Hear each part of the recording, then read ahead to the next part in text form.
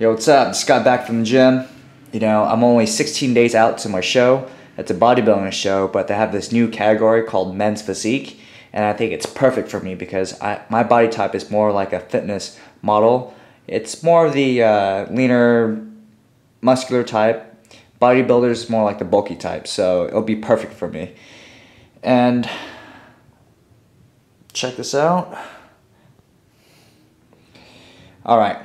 What I'm gonna do is I'm gonna step on the scale to see what my weight and body fat is. So you guys get to see what my true stats are. You guys ready? Here you go. Uh, all right.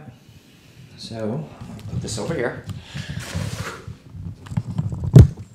Step on the scale.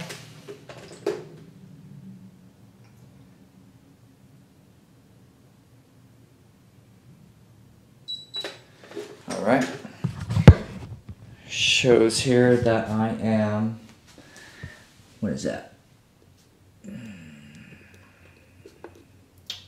173.4, 9.5% body fat, 62.4 water weight, and it shows my muscles 149.2, and that's how many calories I burned in a day if I just uh, sat at home and did nothing, play COD, Call of Duty.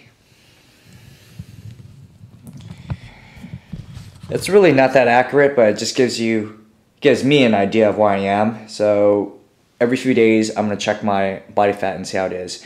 What I'm doing differently is I'm doing cardio um, every day. So the days I work out with weights, I only do cardio for about at least 20 minutes. And the days I do not do do weights, I do cardio for an hour. Um, so far, I've been doing the Stairmasters. It's been killing me because my legs and ass is always hurting every time I step on the stairs. Um, today I'm going to take a break because I've been really exhausted from working out so much, not in terms of uh, weightlifting, but uh, cardio. All right, I'll catch you guys later.